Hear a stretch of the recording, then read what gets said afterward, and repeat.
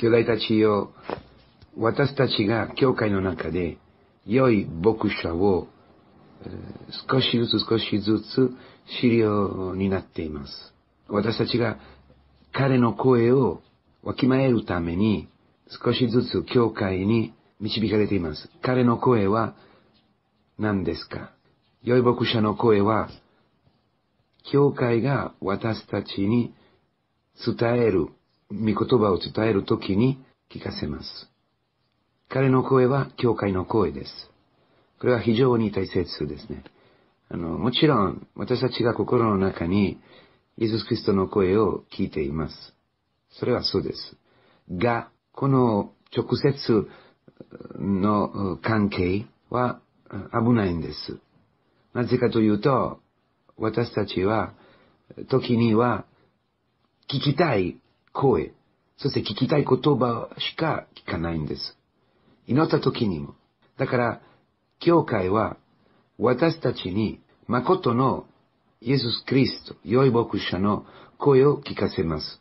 教会を通して私たちが、良い牧者が私たちを読んで私たちに良い知らせを伝え、時々叱って、そして私たちを励ますということを経験します。教会は真理の確認です。と言いましょうか。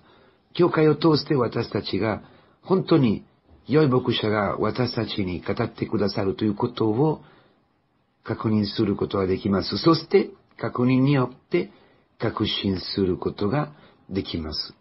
良い牧者はその羊のために命を与えてくださる。かけます。他には牧者でない方々、牧者でない言葉、声、つまり、この社会の教え、文化のいろんな、いろんな教え、アイデオロギーとかは、私たちのことを大事にしていません。私たちは文化に属していません。社会に属していません。私たちは社会の中に歩んでいます。私たちは日本の社会、フランスの社会、アフリカの社会に歩んでいます。この、この時代と共に歩んでいますが、私たちはこの世のものではありません。この世に属していません。わかりますか？ですから、すべてのこの世から来る言葉は私たちを真理まで導いてくれ、導いていません。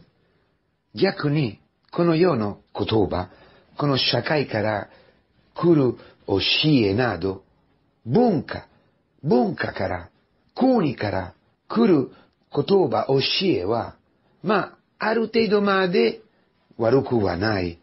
良いものもあります、もちろん。けど基本的に、私たちは文化に属していません。私たちはその文化、その時期、その時代、そのところ、その国の文化のものではないから、私たちのことを大事にしない、この文化、この時代の文化、この国が、私たち一人一人を大事にしないので、私たちが、あるいは、もっともふさわしいに言えば、私たちの心は、私たちの深いのところは、その文化の言葉に耳を傾けても満たされない。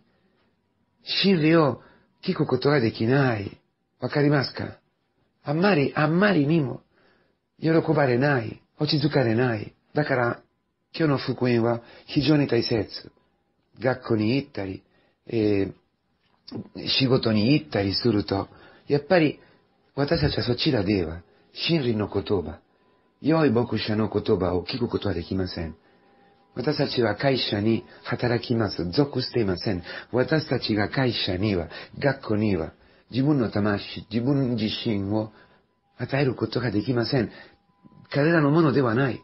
学校のものではない私が、しばらくの間学校に行きます。そしていろんなことを学び、良いことも学ぶ。悪いことをも聞かなければならない。悪い教え、この世の価値観に基づいた教えなど聞かなければならない。それを捨てなければならない。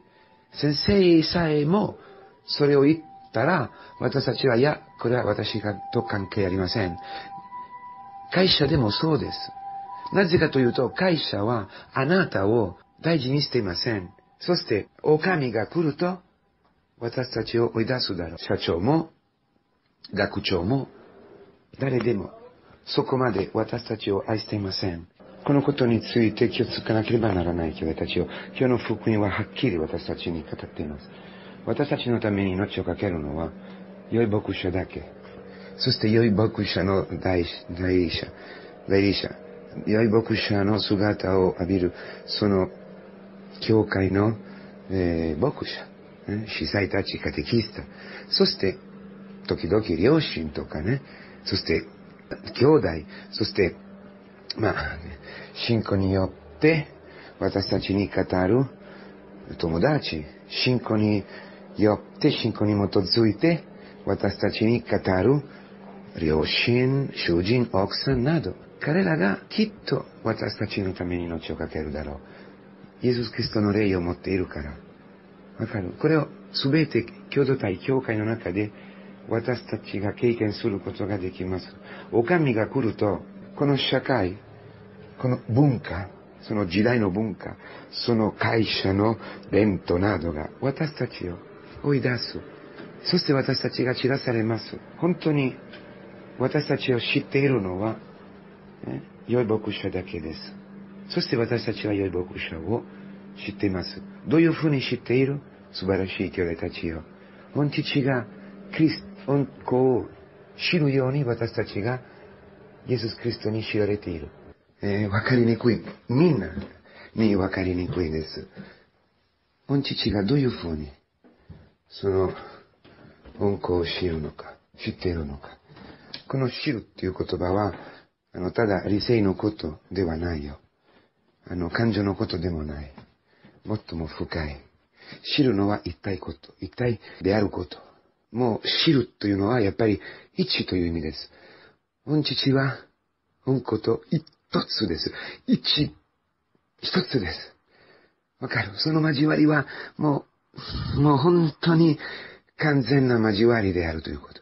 こういう風に、御父が、御子を知っています。で、同じように私たちがイエス・キリストに知られています。わかる？そして、私たちもイエス・キリストを同じように知ることができます。この素晴らしい、考えられない素晴らしい交わりのうちにいるように呼ばれています。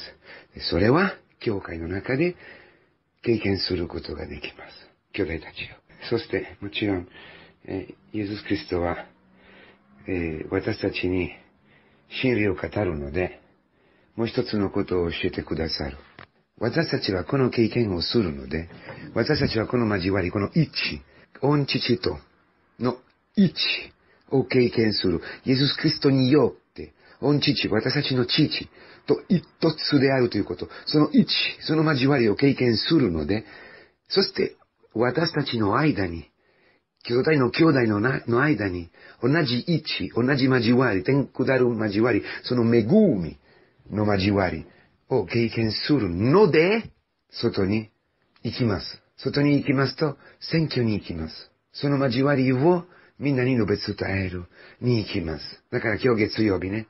で、今週、学校にいた時には、仕事にいた時には、この文化に入った時には、この世に入って、この世は言う、あの、この世の中には読んだ時には、私たちが教えられるのではなく、教える。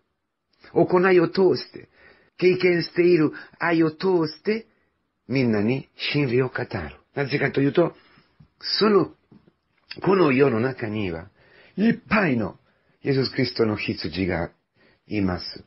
いっぱい、あなたの親戚、仏教の親戚、わからない、無神論者の親戚、友達、学校の仲間、仕事の仲間、先生かもわからない。あなたにいろんなことを教えている先生、あなたの社長、あなたの社長も、イエス・キリストの羊であると思う。で、彼らも同じ声を聞く。同じ良い牧者の声を聞く。あなたの声を通して同じ、同じ、え、あなたが教会の中で聞いているキリストの声、良い牧師の声を聞きます。あなたの声を通して、あなたの行いを通して、あなたの態度を通して、聞きます。